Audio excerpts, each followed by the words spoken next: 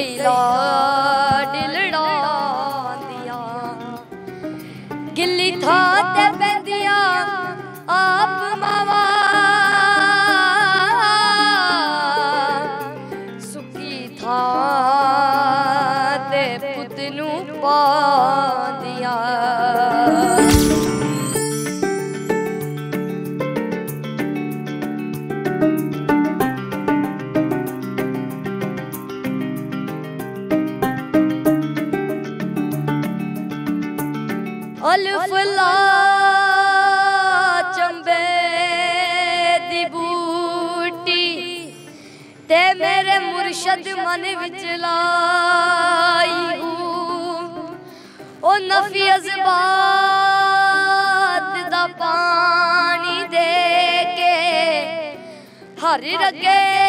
ਹਰ ਜਾਈ ਹੂੰ।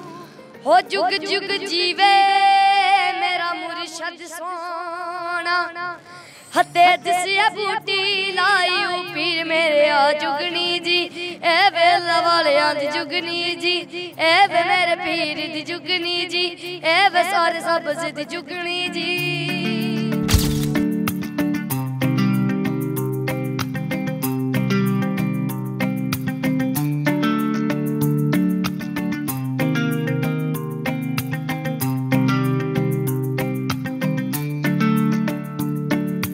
ਜੀ ਮੈਨੂੰ ਤਾਂ ਬਹੁਤ ਖੁਸ਼ੀ ਹੈ ਕਿ ਅੱਜ ਅ, ਕਨਵਰ ਗਰੇਵਾਲ ਜੀ ਨੂੰ ਪਹਿਲੀ ਵਾਰੀ ਮੌਕਾ ਮਿਲਿਆ ਗਾਣ ਦਾ। ਤੇ ਜਿਹਦੇ ਤੁਸੀਂ ਕਹਿ ਰਹੇ ਹੋ ਪਬਲਿਕ ਦਾ ਪਬਲਿਕ ਇੱਕ ਨਾ ਰੱਬ ਦਾ ਰੂਪ ਹੁੰਦੀ ਹੈ। ਜਿਉ ਪਾਸ ਕਰਨਗੇ ਤਾਂ ਹੀ ਬੁਲੰਦੀਆਂ ਤੇ ਚੜਾਂਗੇ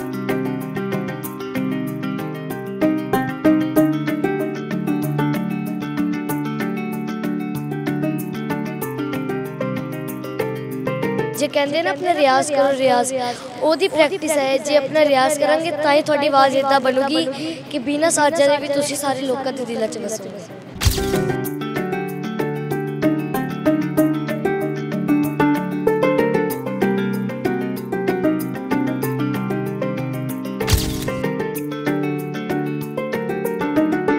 ਸੋਸ਼ਲ ਮੀਡੀਆ ਇੱਕ ਅਜਿਹਾ ਪਲੇਟਫਾਰਮ ਹੈ ਜਿਹਦੇ ਵਿੱਚ ਅਜਿਹੇ ਟੈਲੈਂਟ ਸਾਡੇ ਸਾਹਮਣੇ ਆ ਰਹੇ ਜੋ ਕਿਸੇ ਕਾਰਨ ਕਾਰਨ ਉੱਪਰ ਕੇ ਨਹੀਂ ਸਾਹਮਣੇ ਆ ਰਹੇ ਸੀ। ਪਰ ਟੈਲੈਂਟ ਇੰਨਾ ਹੈ ਕਿ ਹੁਣ ਜਿਹੜਾ ਹੈ ਸੋਸ਼ਲ ਮੀਡੀਆ ਦੇ ਰਾਹੀਂ ਲੋਕਾਂ ਦੇ ਸਾਹਮਣੇ ਆ ਰਿਹਾ ਹੈ।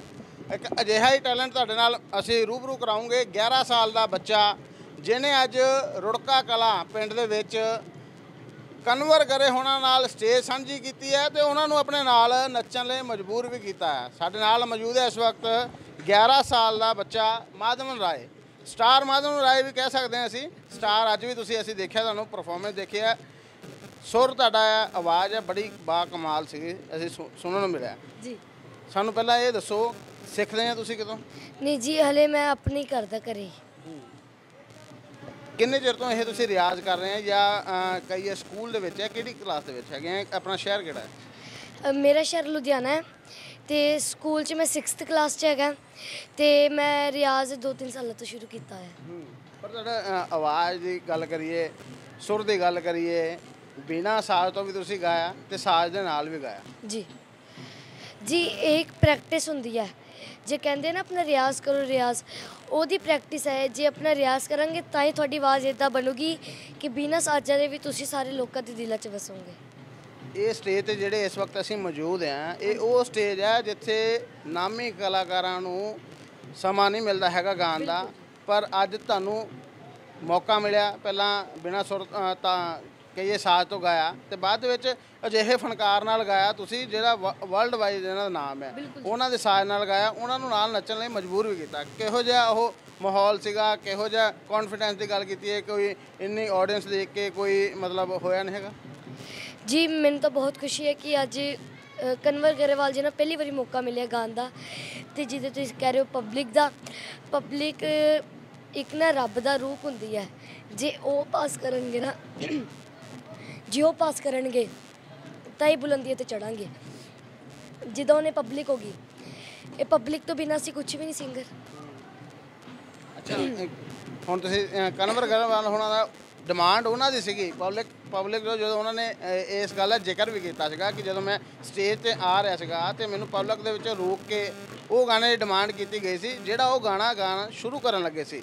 ਪਰ ਤੁਹਾਨੂੰ ਉਹਨਾਂ ਨੇ ਬੈਠੇ ਹੋਏ ਤੁਸੀਂ ਸਟੇਜ ਤੇ ਤੁਹਾਨੂੰ ਉਹਨਾਂ ਨੇ ਉਠਾਇਆ, ਪਰ ਉਹ ਗਾਣਾ ਤੁਸੀਂ ਸਾਰਾ ਗੁਣਗਾ ਦਿੱ- ਗੁਣਗੁਣਾ ਦਿੱਤਾ ਉਹਨਾਂ ਨੇ। ਉਹਨਾਂ ਨੇ ਇੱਕ ਲਫ਼ਜ਼ ਵੀ ਆਪਣੇ ਗਾਣੇ ਦਾ ਉਸ ਬੋਲ ਦਾ ਸਾਂਝਾ ਨਹੀਂ ਕੀਤਾ ਹੈਗਾ ਪਰ ਤੁਸੀਂ ਸਾਰੇ ਅ, ਉਸ ਗਾਣੇ ਨੂੰ ਗੁਣਗੁਣਾ ਦਿੱਤਾ। ਯਾਦ ਸੀਗਾ ਸਾਰਾ ਗਾਣਾ? ਹਾਂਜੀ ਬਿਲਕੁਲ ਜੀ।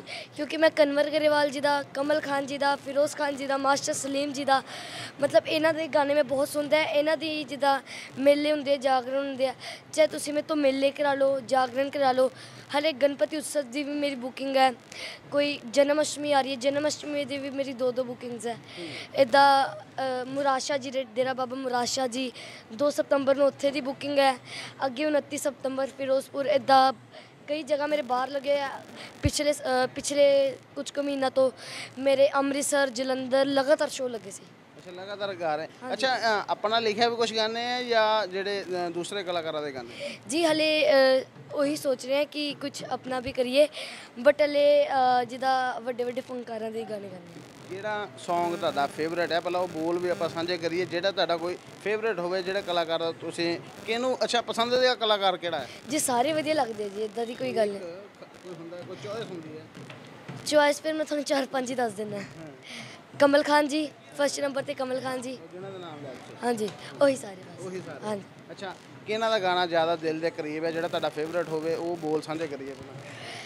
ਜੀ ਕਨਵਰ ਗਰੇਵਾਲ ਜੀ ਕਨਵਰ ਗਰੇਵਾਲ ਜੀ ਦੀ ਵੀ ਹੈਗਾ ਤੇ ਕਮਲ ਖਾਨ ਜੀ ਦੀ ਵੀ ਹੈਗਾ ਸਾਰੇ ਜਿਹੜਾ ਵੀ ਤੁਹਾਡਾ ਫੇਵਰੇਟ ਹੈਗਾ ਆ, ਉਹ ਬੋਲ ਸਾਂਝੇ ਕਰੋ ਚਲੋ ਸਾਰੇ ਦਰਸ਼ਕ ਦੇਖ ਰਹੇ ਅੱਜ ਤੇ ਸਾਰਿਆਂ ਨੂੰ ਆਪਣੀ ਮਾਂ ਨਾਲ ਬੜਾ ਪਿਆਰ ਹੁੰਦਾ ਹੈ ਤੇ ਉਸ ਤੇ ਤੁਹਾਨੂੰ ਕਮਲ ਖਾਨ ਜੀ ਦਾ ਕੋਈ ਗਾਣਾ ਥੋੜੀ ਕਿ ਲਾਈਨਾਂ ਪੇਸ਼ ਕਰਦਾ। ਬੱਚੇ ਮਾਂ ਦਾ ਦੇਣ ਨਹੀਂ ਦੇ ਸਕਦੇ ਹੋ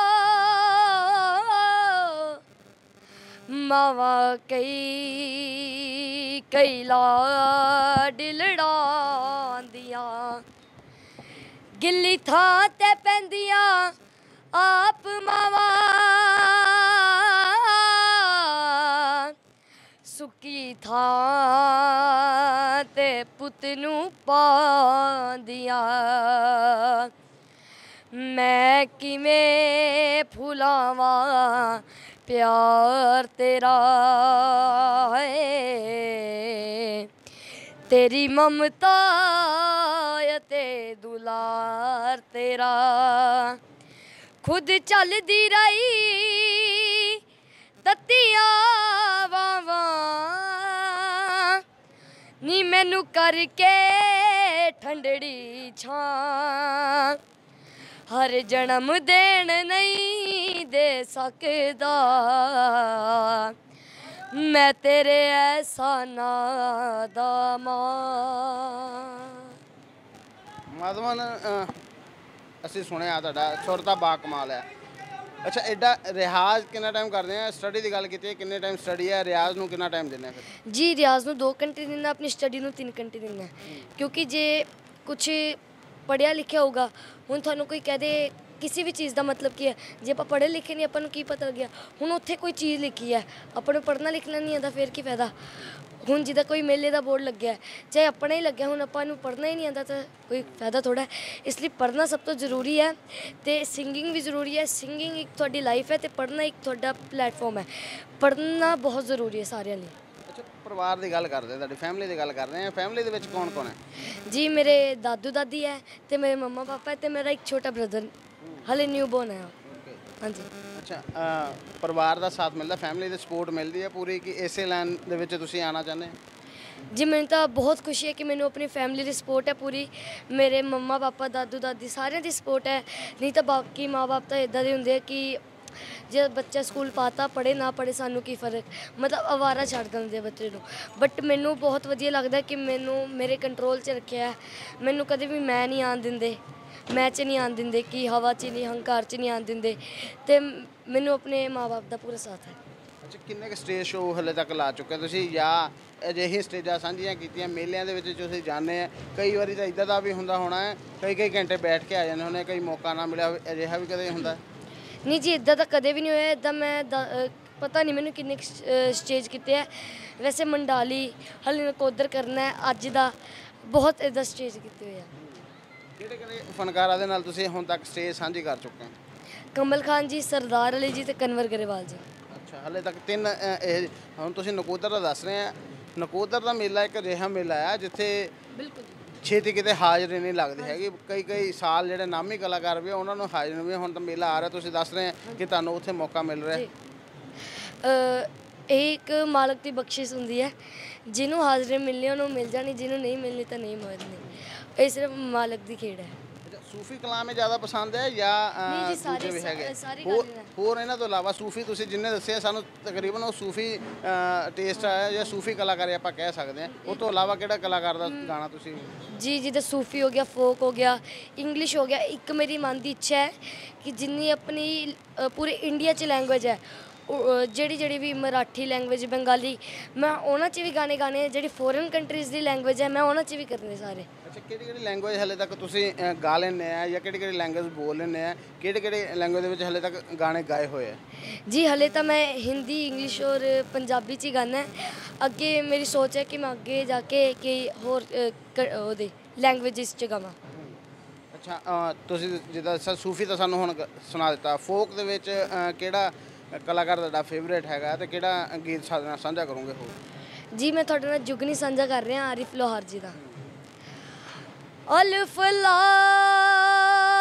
ਚੰਬੇ ਦੀ ਬੂਟੀ ਤੇ ਮੇਰੇ ਮੁਰਸ਼ਦ ਮਨ ਵਿੱਚ ਲਾਈ ਹੂੰ।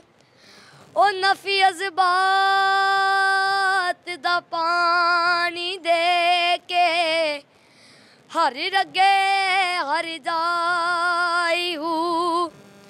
ਹੋ ਜੁਗ ਜੁਗ ਜੀਵੇ ਮੇਰਾ ਮੁਰਸ਼ਦ ਸੋਣਾ ਹੱਤੇ ਦਿਸਿਆ ਬੂਟੀ ਲਾਈਓ ਪੀਰ ਮੇਰੇ ਆ ਜੁਗਣੀ ਜੀ। ਐ ਵੇ ਲਵਾਲਿਆਂ ਦੀ ਜੁਗਨੀ ਜੀ, ਐ ਵੇ ਮੇਰੇ ਪੀਰ ਦੀ ਜੁਗਣੀ ਜੀ, ਐ ਵੇ ਸਾਰੇ ਸਬਜ਼ ਦੀ ਜੁਗਣੀ ਜੀ। ਮਾਧਵ ਨੇ ਚਲੋ ਤੁਹਾਡੇ ਅਸੀਂ ਸੁਣਿਆ ਲਾਈਵ ਸੁਣਿਆ ਤੁਹਾਨੂੰ। ਸਾਡੇ ਦਰਸ਼ਕ ਹੈ ਜਿਹੜਾ ਉਹਨਾਂ ਨੂੰ ਅਸੀਂ ਰਿਕਾਰਡਡ ਵੀ ਦਿਖਾ ਰਹੇ ਹਾਂ, ਤੁਹਾਡੀ ਸਾਊਂਡ ਜਿਹੜਾ ਕਹਦੀ ਆਵਾਜ਼ ਹੈ ਉਹ ਪਸੰਦ ਕਰੂਗੇ। ਸਾਨੂੰ ਲੱਗਦਾ ਜਿੱਥੇ ਤੱਕ। ਹੱਥ ਤੁਹਾਡਾ ਦੇਖਿਆ ਹੱਥ ਦੇ ਵਿੱਚ ਇਹ ਸੱਟ ਲੱਗੀ ਹੋਈ ਹੈ ਚੋਟ ਲੱਗੀ ਹੈ ਕੀ ਹੋਇਆ ਇੱਥੇ? ਸਕੂਲ 'ਚ ਮਤਲਬ ਜਿੱਦਾਂ ਗਿਰ ਗਿਆ ਸੀ। ਸ਼ਰਾਰਤਾਂ ਵੀ ਕਰਦੇ ਹੈ ਨਹੀਂ ਘੱਟ ਵੱਧ ਘੱਟ ਵੱਧ। ਵੈਸੇ ਆਪਣੇ ਕੰਮ ਵੱਲ ਸੀਰੀਅਸ ਹੈ। ਸਕੂਲ ਜਾਂਦਾ ਹੈ ਸਕੂਲ 'ਚ ਵੀ ਵਧੀਆ ਮਾਰਕਸ ਆਉਂਦੇ ਆ ਵਧੀਆ। ਸਟੱਡੀ ਦੇ ਵਿੱਚ ਕਿੱਦਾਂ ਹੈਗੇ? ਹਾਂਜੀ ਸਕੂਲ 'ਚ ਉਹੀ ਗੱਲ ਕਹੀ ਕਿ ਮਤਲਬ ਬਹੁਤ ਮਤਲਬ ਸਟੱਡੀ 'ਚ ਵੀ ਅੱਛੇ ਆ ਆਉਂਦੇ ਨੰਬਰ ਅੱਛਾ ਇੱਕ ਬੜਾ ਇਹਦੇ ਵਿੱਚ ਹੁੰਦਾ ਨਾ ਕਿਸੇ ਨੂੰ ਕਹਿ ਦਈਏ ਵਧੀਆ ਪਲੇਟਫਾਰਮ ਮਿਲ ਜਾਂਦਾ ਹੈ ਜਾਂ ਕੋਈ ਨਾਮੀ ਸਿੰਗਰ ਬਣ ਜਾਂਦਾ ਬੜੀ ਛੇਤੀ ਜਿੱਦਾਂ ਕਹਿ ਦਈਏ ਉੱਪਰ ਲੱਗ ਜਾਂਦਾ ਹੈ ਜੇ ਕਹਿ ਦਈਏ ਆਕੜ ਆ ਜਾਂਦੀ ਹੈ ਉਹਨਾਂ ਦੇ ਵਿੱਚ। ਅਜਿਹਾ ਹਲੇ ਤੱਕ ਤੁਸੀਂ ਤੁਹਾਡੀ ਸ਼ੁਰੂਆਤ ਹੈ ਹਲੇ ਬੜੀ ਛੋਟੀ ਏਜ ਹੈ ਤੁਹਾਡੀ ਹਲੇ ਤੁਸੀਂ ਇਸ ਲਾਈਨ ਦੇ ਵਿੱਚ ਅੱਗੇ ਵਧਣਾ ਹੈ। ਅਜਿਹਾ ਕੁਝ ਹਲੇ ਤੱਕ ਦਿਮਾਗ ਦੇ ਵਿੱਚ ਤਾਂ ਆਇਆ ਤਾਂ ਨਹੀਂ ਐਡੀ ਸਟੇਜ ਤੁਸੀਂ ਵੱਡੀਆਂ ਸਾਂਝੀਆਂ ਕਰ ਰਹੇ ਤੁਸੀਂ ਮੈਂ ਦੀ ਗੱਲ ਕਰ ਰਹੇ ਹੋ ਕਿ ਮੈਂ ਹੰਕਾਰ ਨਹੀਂ ਆਉਣਾ ਚਾਹੀਦਾ ਜਿਹ 'ਚ ਮੈਂ ਆ ਗਈ ਨਾ ਉਹ ਮਰ ਗਿਆ। ਕਿਉਂਕਿ ਇੰਨੇ ਵੱਡੇ ਵੱਡੇ ਸਿੰਗਰ ਬਣੇ ਉਹਨਾਂ 'ਚ ਮੈਂ ਨਹੀਂ ਆਈ। ਤੁਹਾਡੇ ਸਾਹਮਣੇ ਅਸੀਂ ਕਿ ਕਨਵਰ ਗਰੇਵਾਲ ਜੀ ਹੋਰ ਕਿੰਨੇ ਸਿੰਗਰ ਹੈ ਕਿਸੇ 'ਚ ਨਹੀਂ ਮੈਂ ਆਂਦੀ ਤਾਂ ਹੀ ਉਹ ਐਵਰਗ੍ਰੀਨ ਰਹਿੰਦੇ ਨੇ। ਜਿਨ੍ਹਾਂ 'ਚ ਮੈਂ ਆਂਦੀ ਨਾ ਉਹ ਐਂ ਗਿਰ ਜਾਂਦੇ ਆ ਐਂ। ਜਿੱਦਾਂ ਮੀਂਹ ਬਰਸਦਾ ਜ਼ਮੀਨ ਤੇ ਉੱਦਾਂ 1 ਮਿੰਟ 'ਚ ਗੇਮ ਪੁੱਠੀ ਪੈ ਜਾਂਦੀ ਹੈ। ਅੱਛਾ ਪਿੱਛੇ ਅਸੀਂ ਤੁਹਾਡਾ ਵਾਇਰਲ Song ਵੀ ਇੱਕ ਸਰਕਾਰਾਂ ਦੇ ਕਹਿੰਦੇ ਬੜੇ ਤੁਸੀਂ। ਹਾਂਜੀ। ਤਵਾ ਲਾਇਆ ਸੀਗਾ ਉਹ ਕਾਫੀ ਵਾਇਰਲ ਹੋਇਆ ਸੀਗਾ Song ਉਹ ਕੀ ਬੋਲ ਸੀਗੇ ਉਹਦੇ ਉਹ ਵੀ ਸਾਂਝੇ ਕਰ ਦਿਓ। ਜੀ ਮਤਲਬ ਇਦਾਂ ਤਵਾ ਨਹੀਂ ਲਾਇਆ ਮੈਂ ਆਪਣਾ ਇੱਕ Song ਸਮਝ ਕੇ ਗਾਇਆ ਉਹਨੂੰ ਕਿ ਮਤਲਬ ਮੈਨੂੰ ਉਹਦੀ ਚਾਹੀ ਹੈ ਜੋ ਅਸਲ ਹਾਂਜੀ। ਬੋਲ ਬਿਆਨ ਕੀਤਾ ਸੀ। ਜੀ। ਨਹੀਂ ਨਹੀਂ ਇਦਾਂ ਦੀ ਗੱਲ ਨਹੀਂ ਸਰਕਾਰ ਜਿਹੜੀ ਆਮ ਆਦਮੀ ਪਾਰਟੀ ਆਈ ਹੈ ਬਹੁਤ ਵਧੀਆ ਸਗਾ ਸਾਨੂੰ ਤਾਂ ਬਹੁਤ ਉਮੀਦ ਆ ਉਹਨਾਂ ਤੋਂ। ਉਹ ਤਾਂ ਫੋਨ ਆਈ ਹੈ ਬੋਲ ਕਦੋਂ ਇਹ ਗਾਣਾ ਕਦੋਂ ਬਣਾਇਆ ਸੀ? ਹਾਂਜੀ। ਇਹ ਗਾਣਾ ਕਦੋਂ ਸਾਂਝਾ ਕੀਤਾ ਸੀ ਇਹ ਹੁਣ ਇਹ ਹਲੇ ਮਹੀਨੇ ਕੁ ਪਹਿਲਾਂ। ਅੱਛਾ। ਹਾਂਜੀ। ਕਿਹੜਾ ਸੀਗਾ ਬੋਲ ਜੇ ਸਰਕਾਰਾਂ ਚੰਗੀਆਂ ਹੁੰਦੀਆਂ, ਕਿਸੇ ਦੇ ਘਰ ਨਾ ਤੰਗੀਆਂ ਹੁੰਦੀਆਂ। ਜੇ ਸਰਕਾਰਾਂ ਚੰਗੀਆਂ ਹੁੰਦੀਆਂ, ਕਿਸੇ ਦੇ ਘਰ ਨਾ ਤੰਗੀਆਂ ਹੁੰਦੀਆਂ। ਜੇ ਨਾ ਪੈੜਾ ਲੰਗੀਆਂ ਹੁੰਦੀਆਂ, ਦੂਰ ਦਰਾਡਿਆਂ ਰਾਵਾਂ ਨੂੰ। ਸਭ ਦੀ ਇੱਥੇ ਕੋਈ ਨਾ ਕੋਈ ਮਜਬੂਰੀ ਏ। ਕੋਈ ਪਰਦੇਸੀ ਘਰ ਨਹੀਂ ਛੱਡਦਾ ਚਾਹਾਂ ਨੂੰ। ਸਭ ਦੀ ਇੱਥੇ ਕੋਈ ਨਾ ਕੋਈ ਮਜਬੂਰੀ ਏ। ਕੋਈ ਪਰਦੇਸੀ ਘਰ ਨਹੀਂ ਛੱਡਦਾ ਚਾਹਾਂ ਨੂੰ। ਜਿੱਦਾਂ ਮੇਰੇ ਵੱਡੇ ਵੀਰ ਪਰਦੇਸ ਗਏ ਹੋਏ ਆ। ਉਹਨਾਂ ਦੀ ਸਾਰਿਆਂ ਦੀ ਕੋਈ ਨਾ ਕੋਈ ਮਜਬੂਰੀ ਆ, ਉਹਨਾਂ ਦੇ ਬਾਪੂ ਦੇ ਕਰਜ਼ੇ, ਉਹਨਾਂ ਦੀ ਘਰਾਂ ਦੀ ਟੈਨਸ਼ਨ ਸਾਰੇ ਇਸ ਲਈ ਗਏ ਹੋਏ ਆ ਮੇਰੇ ਵੱਡੇ ਭਰਾ, ਜਿੰਨੇ ਵੀ ਗਏ ਆ। ਸਭ ਦੀ ਇੱਥੇ ਕੋਈ ਨਾ ਕੋਈ ਮਜਬੂਰੀ ਹੈ ਕੋਈ ਪਰਦੇਸੀ ਘਰ ਨਹੀਂ ਛੱਡਦਾ ਚਾਵਾਂ ਨੂੰ। ਅੱਛਾ ਇਹ ਜਿਹੜਾ ਇਹ Song ਤੁਸੀਂ ਗਾਇਆ ਹੈ, ਇਹ ਆਪ ਹੀ ਲਿਖਿਆ ਹੋਇਆ ਜਾਂ ਇਹ ਵੀ ਕਿਸੇ ਦਾ ਹੋਰ ਦਾ ਲਿਖਿਆ? ਨਹੀਂ ਜੀ ਇਹ ਗੁਰਸ਼ਬਦ ਜੀ ਦਾ ਹੈ। ਹਾਂਜੀ। ਉਹਨਾਂ ਦੇ ਬੋਲ ਤੁਸੀਂ ਸਾਂਝੇ ਕੀਤੇ ਸੀਗੇ। ਕੀ ਹੁਣ ਕੀ ਅੱਗੇ ਕੀ ਫਿਊਚਰ ਦੇ ਵਿੱਚ ਕੀ ਦੇ ਤੁਸੀਂ? ਏਮ ਕੀ ਹੈਗਾ ਤੁਹਾਡਾ ਅੱਗੇ? ਅ, ਮੇਰਾ ਏਮ ਹੈ ਕਿ ਪਹਿਲਾਂ ਮੈਂ ਪੰਜਾਬੀ ਮੂਵੀਜ਼ ਕਰਕੇ ਫਿਰ ਬਾਲੀਵੁੱਡ ਤੱਕ ਜਾਵਾਂ ਫਿਰ ਹਾਲੀਵੁੱਡ ਤੱਕ ਜਾਵਾਂ ਫਿਰ ਸਾਊਥ ਤੱਕ। ਅੱਛਾ ਤੁਸੀਂ ਮਤਲਬ ਐਕਟਰ ਬਣਨਾ ਚਾਹੁੰਦੇ ਹੋ ਤੁਸੀਂ? ਅ, ਜੀ ਸਿੰਗਿੰਗ ਚ। ਸਿੰਗਿੰਗ ਸਿੰਗਿੰਗ ਦੇ ਵਿੱਚ ਜਾਣਾ ਚਾਹੁੰਦੇ ਆ? ਸਿੰਗਿੰਗ ਔਰ ਐਕਟਿੰਗ ਦੋਨਾਂ ਚ ਅੱਛਾ। ਹਾਲੇ ਤੱਕ ਜਿੱਦਾਂ ਹੁਣ ਤੁਹਾਡਾ ਗੱਲ ਕਰੀਏ ਆਵਾਜ਼ ਦੀ ਗੱਲ ਕਰੀਏ ਆਵਾਜ਼ ਇੰਨੀ ਵਧੀਆ ਮਿੱਠੀ ਆਵਾਜ਼ ਹੈ ਤੇ ਸਕੂਲ ਦੀ ਸਟੇਜਾਂ ਸਾਂਝੀਆਂ ਕੀਤੀਆਂ ਉੱਥੇ ਵੀ ਸਾਂਝੇ ਕੀਤੇ ਕਿਤੇ ਮੌਕਾ ਮਿਲਿਆ ਹੈਗਾ ਹੁਣ ਤੱਕ ਤੁਹਾਨੂੰ ਕਿਸੇ ਕਈ ਮੂਵੀ ਦੇ ਵਿੱਚ ਗੱਲ ਕੀਤੀ ਜਾਵੇ ਜਾਂ ਕਿਸੇ ਹੋਰ ਟੈਲੈਂਟ ਦੇ ਵਿੱਚ ਕੋਈ ਮੌਕਾ ਮਿਲਿਆ ਹਾਲੇ ਤੱਕ? ਜੀ ਮੈਨੂੰ ਮੇਰੀ ਲਾਸਟ ਟਾਈਮ ਮੂਵੀ ਵੀ ਆਈ ਸੀ ਲੋਕਡਾਊਨ ਦੇ ਵਿੱਚ ਕਾਲਾ ਸੱਚ। ਹਲੇ ਮੈਨੂੰ ਹੋਰ ਵੀ ਮੂਵੀਜ਼ ਦੀ ਆਫਰ ਆ ਰਹੀਆਂ ਹਲੇ। ਕਾਲਾ ਸੁੱਚ? ਕਾਲਾ ਸੱਚ। ਕਾਲਾ ਸੱਚ। ਹਾਂਜੀ। ਇਹ ਇਹ ਕਿਹਨਾਂ ਦੀ? ਪੰਜਾਬੀ ਮੂਵੀ ਹੈ? ਹਾਂਜੀ। ਇਹ ਦੇਵ ਮਿੰਦੋ ਵਲੌਗਸ ਦੀ ਹੈ। ਅੱਛਾ ਇਹਦੇ ਵਿੱਚ ਅਹ, ਕੀ ਤੁਸੀਂ ਅਹ, ਕੀ ਰੋਲ ਪਲੇ ਕੀਤਾ? ਇੱਥੇ ਮੈਂ ਹੀਰੋ ਦਾ ਬਚਪਨ ਦਾ ਰੋਲ ਪਲੇ ਕੀਤਾ ਹੈ। ਅੱਛਾ। ਹਾਂਜੀ। ਤੇ ਇਹਦੇ ਕੌਣ ਹੀਰੋ ਕੌਣ ਸੀਗੇ? ਉਹ ਵੀ ਸਾਨੂੰ ਅ, ਦਵਿੰਦਰ ਦੇਵਗਨ ਜੀ। ਅੱਛਾ। ਹਾਂਜੀ। ਤੇ ਹੁਣ ਆ- ਆਉਣ ਵਾਲਾ ਕੀ ਪ੍ਰੋਜੈਕਟ ਕੀ ਹੈਗੇ ਤੁਹਾਡੇ? ਮੈਂ ਚਾਹੁੰਦਾ ਕਿ ਜਿੰਨੇ ਵੀ ਮੇਰੇ ਰਾਈਟਰ ਭਰਾ ਦੇਖ ਰਹੇ ਆ 뮤직 ਕੰਪੋਜ਼ਰਸ ਦੇਖ ਰਹੇ ਆ ਉਹਨਾਂ ਨੂੰ ਮੇਰੀ ਇੱਕ ਹੀ ਬੇਨਤੀ ਹੈ ਰਾਈਟਰ ਭਰਾਵਾਂ ਨੂੰ ਕਿ ਤੁਹਾਡੇ ਸਾਹਮਣੇ ਮੈਂ ਰੂਬਰੂ ਹੋਇਆ ਅੱਜ ਕਿ ਜਿਹੜਾ ਵੀ ਮੈਨੂੰ ਅੱਜ ਇੱਥੇ ਸੁਣ ਰਿਹਾ ਉਹ ਮੈਨੂੰ ਇੱਕ Song ਰਾਈਟ ਕਰਕੇ ਦਵੇ। ਬਸ ਮੇਰੀ ਇਹੀ ਕਹਿਣੇ ਆ ਸਾਰਿਆਂ ਨੂੰ। ਅੱਛਾ ਕਹਿੰਦੇ ਕੰਪਨੀਆਂ ਬੜੀ ਛੇਤੀ ਬਾਉਂਡ ਕਰ ਲੈਂਦੀਆਂ ਕੋਈ ਵਧੀਆ ਟੈਲੈਂਟ ਹੋਵੇ ਵਧੀਆ ਆਵਾਜ਼ ਹੋਵੇ ਹਲੇ ਤੱਕ ਕਿਸੇ ਕੰਪਨੀ ਨੇ ਕੋਈ ਕੰਟੈਕਟ ਕੀਤਾ? ਹਲੇ ਦੋ ਤਿੰਨ ਕੰਪਨੀਆਂ ਦਾ ਆਇਆ ਸੀ ਹਲੇ। ਆਫਰ ਆਇਆ ਸੀਗਾ ਹਲੇ ਅਸੈਪਟ ਕਰ ਲਿਆ ਕਿ ਨਹੀਂ? ਫਿਰ ਉਹ ਬਾਉਂਡ ਬਾਉਂਡ ਹੋ ਜਾਂਦਾ ਉਹਦੇ ਨਾਲ ਬੰਦਾ। ਉਹ ਤੁਸੀਂ ਕਿਸ ਨੇ ਸਾਈਨ ਕੀਤਾ? ਅ, ਉਹਨਾਂ ਨੇ ਨਾ ਹਲੇ ਕਹਿੰਦੇ ਥੋੜੀ ਦੇਰ ਰੁਕ ਜਾਓ ਹਲੇ। ਹਲੇ ਉਹਨਾਂ ਦੇ ਕੋਈ ਇਸ਼ੂ ਪ੍ਰੋਬਲਮਸ ਹੋ ਗਈ ਸੀ ਆਪਣੇ ਉਹਨਾਂ ਦੇ ਨੈਟਵਰਕ 'ਚ ਤਾਂ ਉਹ ਕਹਿੰਦੇ ਫਿਰ ਦੱਸ ਦਿਓ। ਅੱਛਾ ਹੋਰ ਇਹ ਤੋਂ ਇਲਾਵਾ ਹੋਰ ਕਿਹੜੇ ਕਿਹੜੇ ਤੁਹਾਡੇ Song ਵਾਇਰਲ ਕਾਫੀ ਹੋਏ ਅਸੀਂ ਸੁਣਿਆ ਹੈ ਹੋਰ ਅ, ਕਹਿੰਦੇ ਸਿੱਧੂ ਮੂਸੇ ਵਾਲਾ ਦਾ Song ਵੀ ਤੁਸੀਂ ਅ, ਗਾਉਂਦੇ ਆ ਉਹ ਵੀ ਕਾਫੀ ਵਾਇਰਲ ਹੋਇਆ ਸੀ। ਹਾਂਜੀ। ਕਿਹੜਾ Song ਅ, 295 ਉਹਦੇ ਬੋਲ ਸਾਂਝੇ ਕਰੋ। ਹੋ ਦੱਸ ਪੁੱਤ ਤੇਰਾ ਹੈਡ ਡਾਊਨ ਕਾਸ ਤੋਂ ਚੰਗਾ ਭਲਾ ਹੱਸਦਾ ਸੀ ਮੌਣ ਕਾਸ ਤੋਂ ਆ ਜਿਹੜੇ ਦਰਵਾਜ਼ੇ ਉੱਤੇ ਬੋਰਡ ਚੱਕੀ ਖੜੇ ਆ, ਮੈਂ ਚੰਗੀ ਤਰ੍ਹਾਂ ਜਾਣਦਾ ਆ ਕੌਣ ਕਾਸ ਤੋਂ ਹੋ ਕੁਛ ਇੱਥੇ ਚਾਂਦੀ ਚਮਕਾਉਣਾ ਚਾਹੁੰਦੇ ਨੇ, ਕੁਛ ਤੈਨੂੰ ਫੜ ਥੱਲੇ ਲਾਉਣਾ ਚਾਹੁੰਦੇ ਨੇ। ਕੁਛ ਕਨਿਆ ਇੱਥੇ ਭੁੱਖੇ ਵੇਮਦੇ, ਨਾਮ ਲੈ ਕੇ ਤੇਰਾ ਅੱਗੇ ਆਉਣਾ ਚਾਹੁੰਦੇ ਨੇ। ਮੁਸੀਬਤ ਤਾਂ ਮਰਦਾ ਤੇ ਪੈਂਦੀ ਰਹਿੰਦੀ ਐ, ਦਬੀ ਨਾ ਤੂੰ ਦੁਨੀਆ ਸਵਾਦ ਲੈਂਦੀ ਐ। ਨਾਲੇ ਜਿਹੜੇ ਰਸਤੇ ਤੇ ਤੂੰ ਤੁਰਿਆ, ਇੱਥੇ ਬਦਨਾਮੀ ਹਾਈ ਰੇਟ ਮਿਲੂਗੀ। ਨਿਤ ਕੰਟਰੋਵਰਸੀ ਕਰੇਟ ਮਿਲੂਗੀ, ਧਰਮਾਂ ਦੇ ਨਾਮ ਤੇ ਡਿਬੇਟ ਮਿਲੂਗੀ। ਸੱਚ ਬੋਲੇਗਾ ਤਾਂ ਮਿਲੂ 295 ਜੇ ਕਰੇਗਾ ਤਰੱਕੀ ਪੁੱਤੇ ਹੇਟ ਮਿਲੂਗੀ। ਮਾਧਵਨ ਬੜੀ ਛੋਟੀ ਏਜ ਹੈ ਤੁਹਾਡੀ ਹੈ ਹਲਾ 11 ਸਾਲ ਦੀ ਏਜ ਹੈ। ਇਹਦੇ ਵਿੱਚ ਹੋਰ ਕੀ ਕੁਝ ਤੁਸੀਂ ਆਉਣ ਵਾਲਾ ਜਿਹੜਾ ਹਲੇ ਕਾਫੀ ਟਾਈਮ ਤੁਹਾਡਾ ਪਿਆ ਹੋਇਆ ਕੀ ਕੁਝ ਤੁਸੀਂ ਏਮ ਕੀ ਹੈਗਾ ਜਾਂ ਤੁਹਾਡੇ ਜੇ ਮਦਰ ਫਾਦਰ ਦੀ ਗੱਲ ਕਰੀ ਜਾਵੇ, ਦਾਦੂ, ਦਾਦੀ ਦੀ ਗੱਲ ਕੀਤੀ ਜਾਵੇ, ਕੀ ਕੁਝ ਉਹ ਤੁਹਾਡੇ ਤੋਂ ਕਹਿੰਦੇ ਆ ਜਾਂ ਸਮਝਾਉਂਦੇ ਆ ਘਰ ਵਿੱਚ ਕਿ ਇਹ ਕੁਝ ਅੱਗੇ ਇਦਾਂ ਰਹਿ ਤੂੰ ਜਾਂ ਕੁਝ ਸਮਝਾਉਂਦੇ ਆ ਤਾਂ ਕੁਝ ਗਾਈਡ ਕਰਦੇ ਰਹਿੰਦੇ? ਜੀ ਇਹਦਾ ਗਾਈਡ ਕਰਦੇ ਕਿ ਇਦਾਂ ਨਹੀਂ ਇਦਾਂ ਕਰਨਾ ਜੇ ਮੇਰੇ ਤੋਂ ਕਿਤੇ ਗਲਤੀ ਹੁੰਦੀ, ਉਹ ਦੱਸਦੇ ਆ ਕਿ ਕਿੱਦਾਂ ਨਹੀਂ, ਕਿੱਦਾਂ। ਮਤਲਬ ਅੱਗੇ ਅੱਗੇ ਮਤਲਬ ਪਹਿਲੀ ਗੱਲ ਮੇਰੇ ਘਰ ਦਾ ਸਹਿਯੋਗ ਹੈ ਕਿ ਮੈਂ ਇੱਥੇ ਤੱਕ ਅੱਜ ਪਹੁੰਚਿਆ।